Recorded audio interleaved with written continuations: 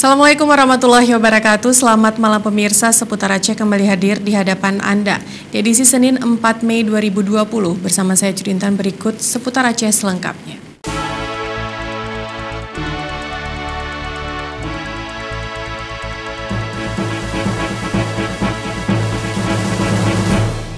Tim penanganan COVID-19 Aceh menyerahkan paket bahan pangan bagi para mahasiswa dari berbagai kabupaten kota yang tinggal di asrama masing-masing daerah di Banda Aceh pada hari Kamis.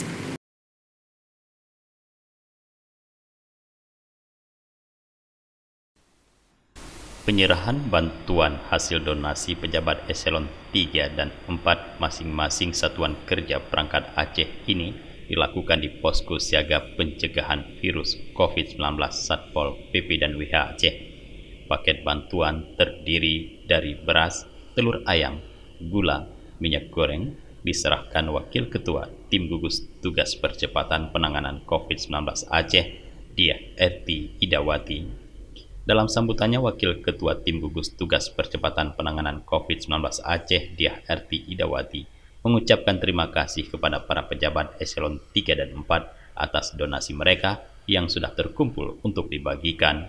Menurut dia, para mahasiswa asal luar kota Banda Aceh yang tinggal di asrama-asrama membutuhkan bantuan di tengah pandemi corona.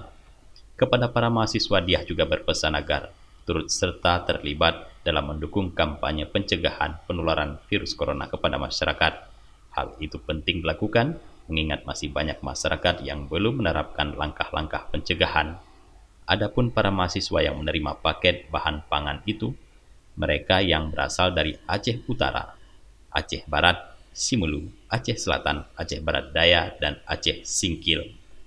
Sementara itu, dia juga mengatakan tim penanganan COVID-19 Aceh selama ini terus bekerja sesuai dengan tugas masing-masing untuk melawan pandemi COVID-19 ini Beberapa kegiatan yang telah dilakukan yakni menyerahkan alat pelindung diri bagi tim medis, pemberian masker, dan sembako bagi masyarakat.